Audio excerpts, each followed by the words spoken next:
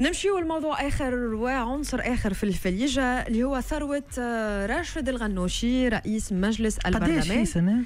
2700 مليار. 2700 مليار. مم. ماهر مذيوب المكلف بالاتصال آه، في مجلس النواب ونائب عن حركة النهضة علق على الموضوع. كوش على ترهات على انه عنده 200 2000 آه، 2700 مليار وعنده كذا وعنده كذا وعنده كذا. يعني تو هذه ما سيادتك أنا قلت لك قناه محترمة. أنتم ما تخضعوش للضرائب ما مسميش حاجات مؤسسات رقابية في الدولة.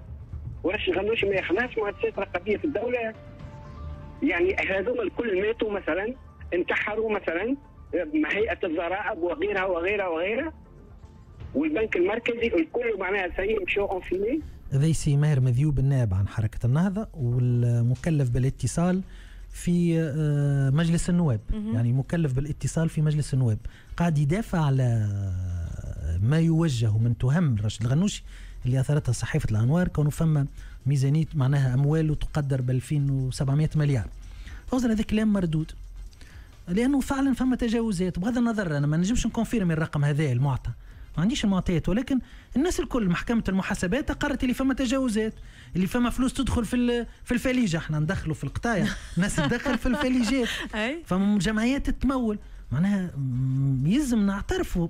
أول خطوة للإصلاح يا سناء نعملوا نقد ذاتي. ونقروا بالحقائق. لا لا فما تجاوزات. عند حركة النهضة وغير حركة النهضة. ولحد الآن ما نعرفوش فل- فلوس إكس قداش وفلوس جريك قداش. هذا السؤال اللي لازم يطرح ويلزم يتوضح للرأي العام.